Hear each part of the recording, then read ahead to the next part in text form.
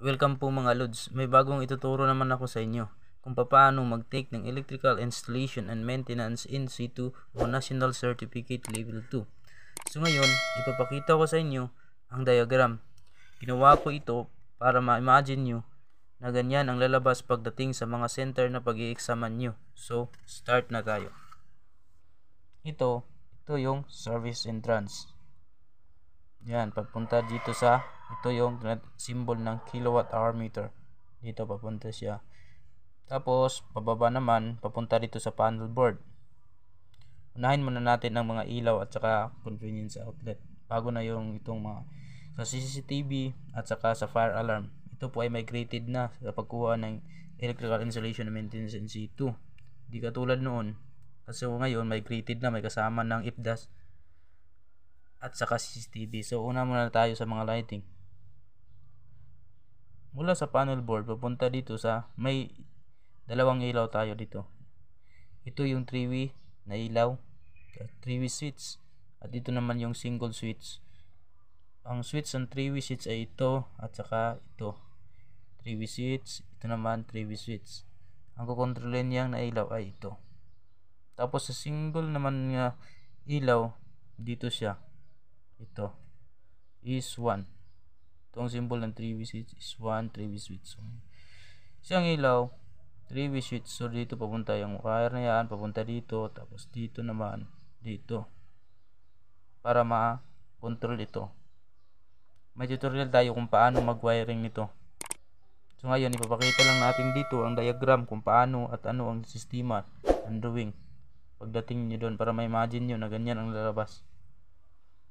Ito naman sa single switch, dito may supply dyan, papunta dito, tsaka dito ang kanyang switch. So balik natin.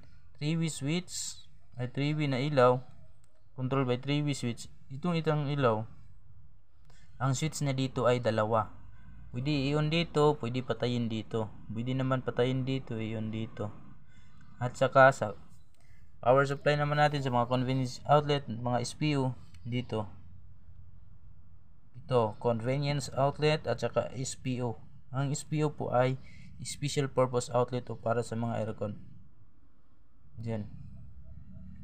Pagkatapos naman ang height po nito ay 30 cm, standard po 'yan sa convenience outlet. Kung yung SPO naman kung mga window type lang mga 140 cm yun na yan.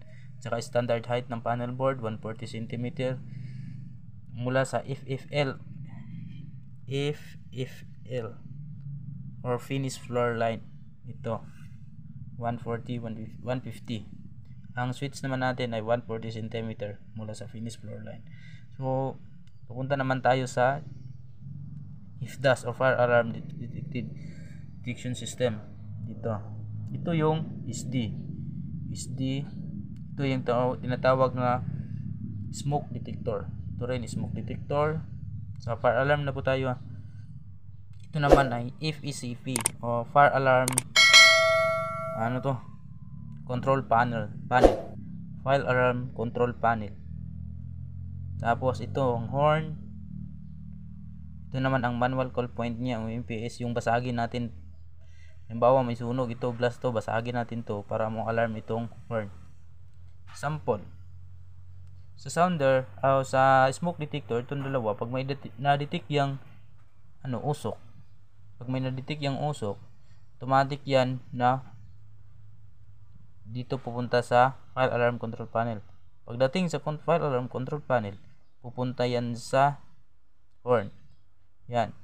Tutunog na yan. Ang buong building. Tutunog na siya. A-alarm na yan. Dito sa horn.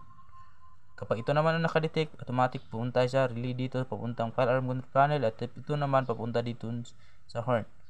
Kung walang na-detect na smoke ang ating smoke detector, pwede rin nating i-manual dito na basagin yung glass. Automatic yun natutunog ang ating horn. Okay, sundan nyo ba? Ganyan po ang lalabas sa pag-take ng electrical installation and maintenance in, in situ. So, papunta naman tayo doon sa CCTV, the power supply. Dito, CCTV power supply. Tapos may dalawang cam tayo dito. Cam 1, cam 2. At dito naman, Di- Nandito ang ating DVD-R and monitor table. So, ganyan lang po ang lalabas kapag kukuha kayo ng electrical installation and maintenance in situ. Migrated na po kasi ngayon. So, yun lang po. Huwag kalimutan pong mag-like and subscribe. Maraming salamat.